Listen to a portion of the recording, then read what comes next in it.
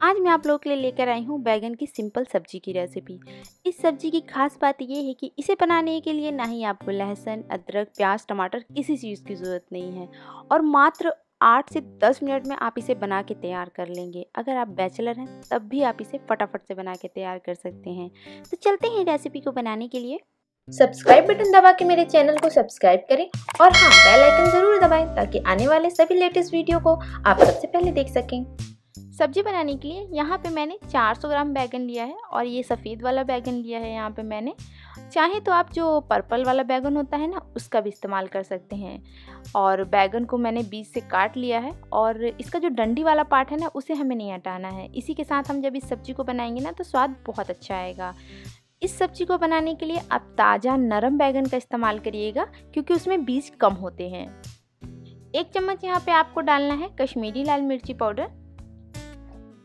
और एक चौथाई के करीब यहाँ पे हम नमक डाल लेंगे और डाल के इस प्रकार से हम टॉस करते हुए इसे मिक्स कर लेंगे ताकि नमक और मिर्ची की जो कोटिंग है वो बैगन के ऊपर अच्छे से हो जाए। मिर्च और नमक बैगन के ऊपर अच्छे से कोट हो गया है तो इसे रख देते हैं एक तरफ़ और चलते हैं नेक्स्ट प्रोसेस के लिए। कढ़ाई में लगभग दो बड़े चम्मच सरसों का तेल डाल के उसे अच्छे से गर्म कर लेंगे। सरसों के तेल में ना ये जो बैगन की सब्ज़ी है वो बहुत ही स्वादिष्ट बनती है। इस सब्ज़ी की खास बात यह है कि इसमें आपको ना ही लहसुन की ज़रूरत है, ना ही प्याज और ना ही टमाटर की जैसे ही तेल गर्म हो जाए, यहाँ पे आप तड़का डाल दें। तड़के में मैंने यहाँ पे एक बड़ा चम्मच लिया है पचफोरन। पचफोरन में हमें सौंफ, जीरा, राई, अजवाइन, मंगरेल और मेथी के दाने डाले हैं। साथ ही साथ एक चौथाई चम्मच हींग डाल दें।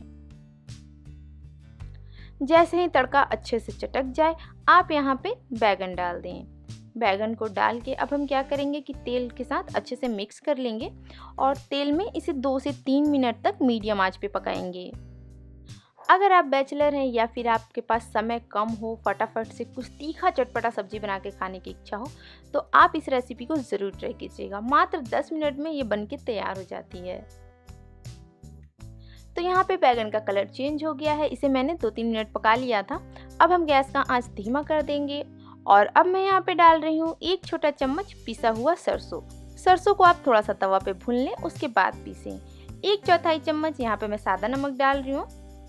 एक चौथाई चम्मच यहाँ पे आप काला नमक डाल दें। बहुत अच्छा टेस्ट आता है काला नमक से।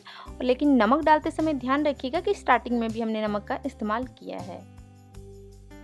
एक छोटा चम्मच यहाँ पे आप अमचूर पाउडर डाल दें।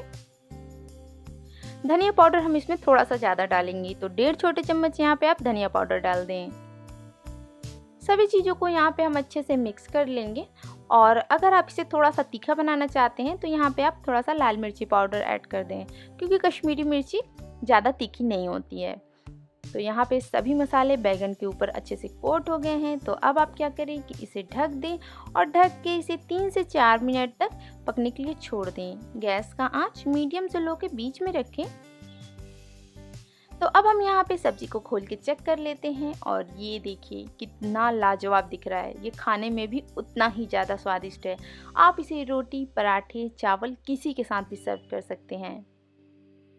अब मैं यहाँ पे डाल रही हूँ आधा चम्मच आम के अचार का मसाला। जी हाँ ज़रूर डालिएगा, टेस्ट बहुत ही लाजवाब आता है।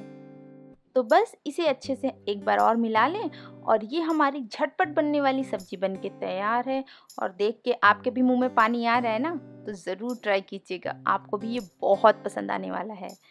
और बैगन को मैं चेक करके भी दिखा देती हूँ, ये देखिए, बैगन अच्छे से पक गया है, फोक आसानी से अंदर चला जा रहा है। तो अब हम गैस बंद कर देंगे और चलते हैं इस सब्ज़ी को फटाफट से सर्व करने के लिए।